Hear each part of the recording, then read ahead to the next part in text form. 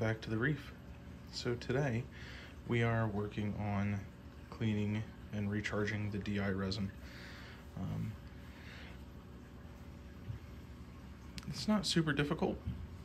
Uh, other than that, I cleaned the panels quick and I fed the fish, filled the top off water. That's about it. So here's the rest of it. So what we have here is we have our full container. It's laid out on aluminum foil in a baking sheet. Grilled cheese.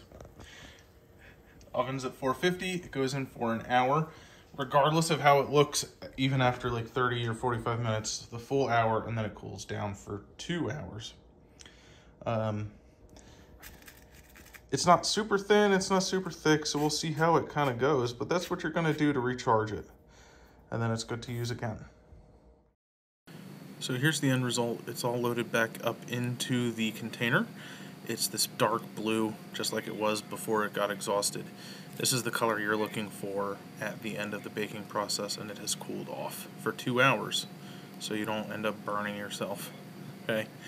Um, I am going to recycle and reuse up the uh, aluminum foil so I don't waste that. So, I hope you enjoyed, I hope you learned, I hope you have a great day.